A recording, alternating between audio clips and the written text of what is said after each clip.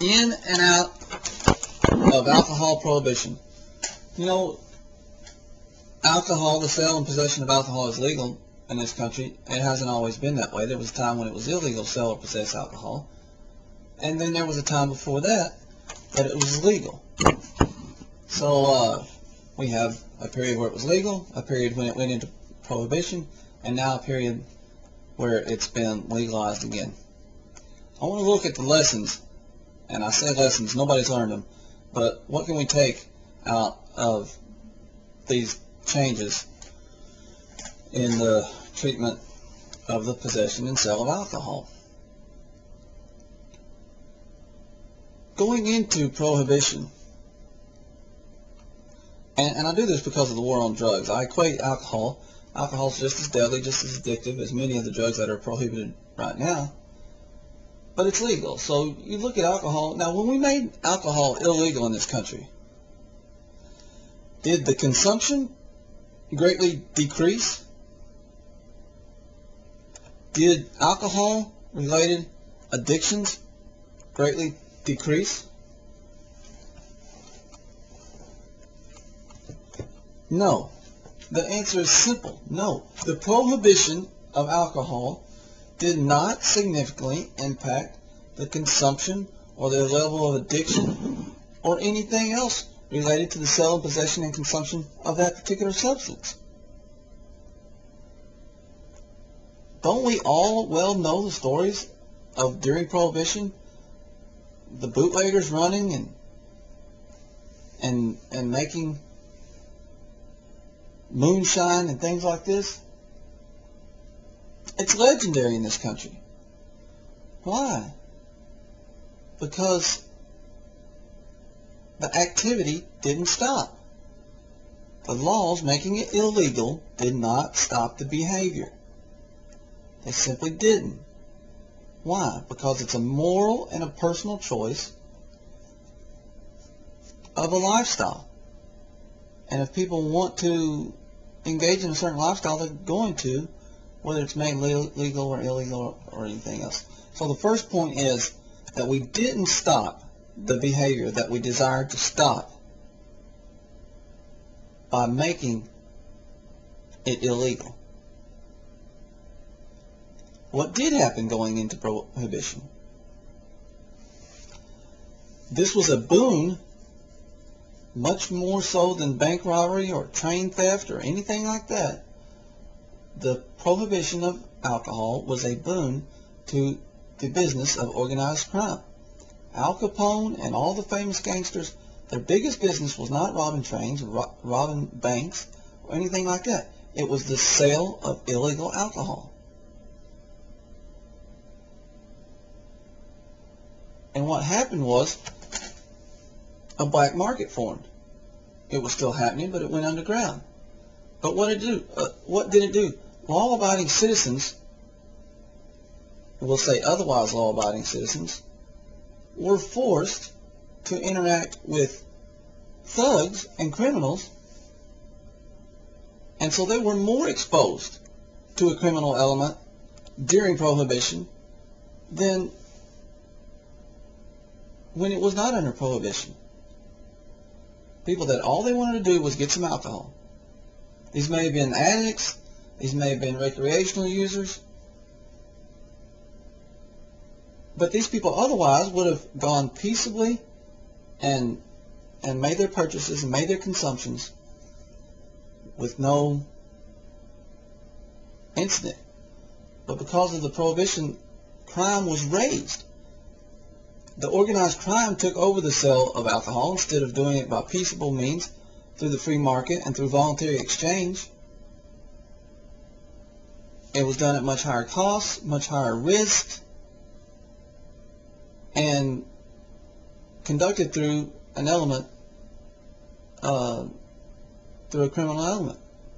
So, going into prohibition, the activity doesn't stop, the crime goes up. What happens coming out of prohibition? The market immediately takes over. These products are available everywhere. They come down in price. And the criminal element is eliminated. And the gangs have to go back to robbing trains and, and banks. Crime went down. Listen to me, y'all. Crime went down when prohibition was lifted.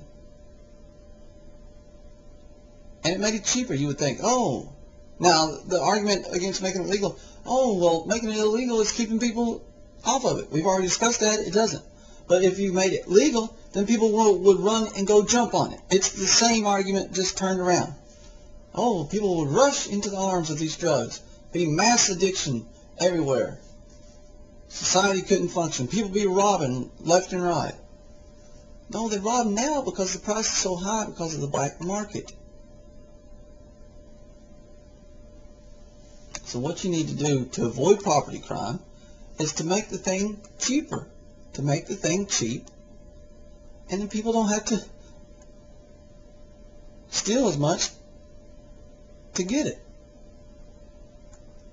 But now when we made alcohol legal, did we all of a sudden see a rash epidemic of alcohol addicts? Did people just go jump and get hooked on alcohol? Did we have people out there left and right just that otherwise had no desire for alcohol? Oh, it's legal. Woo! Let's just go, jump on and get. No, people know the risks. People know the benefits. People have certain desires for a certain type of lifestyle, and they they do the same thing they would have done anyway.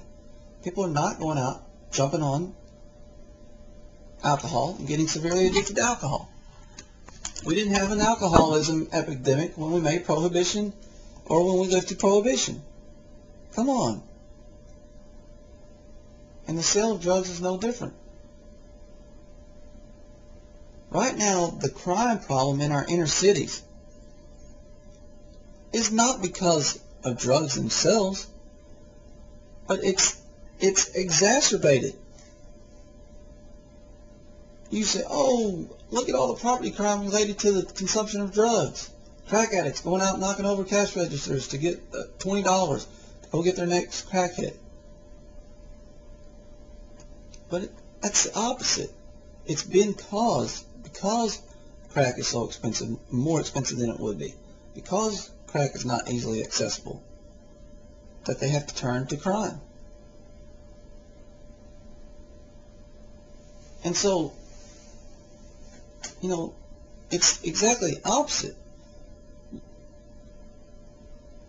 Crime increases and goes to the black market. The gangsters take over the sale and, and distribution of the product. And it forces people that are either addicts who are going to get it somehow anyway or recreational users to interact with the criminal element that they otherwise wouldn't be exposed to. And the risk and the cost created by the prohibition of the sale of these items drives the price higher, creating a more difficult situation for the unfortunate addicts that are going to be addicted anyway. And it causes them to commit property crimes. Now, all that is enforceable. I don't care if somebody knocks over a register because they were on crack cocaine or because they had a bad day that day. The crime itself is still prosecutable we can't prosecute things that are already prosecutable, then how are we going to enforce these draconian laws that are that are untenable? They're unenforceable. They are practically and for all practical practical purposes unenforceable. And so what do we have? We have whole areas of cities where the police won't even go because the drug gangs control the streets. And the problem is more prevalent, more crime related than it would be. So we've been in and out of prohibition in this country. We didn't see any of the benefits that the prohibition of marijuana and cocaine are supposed to hold for us.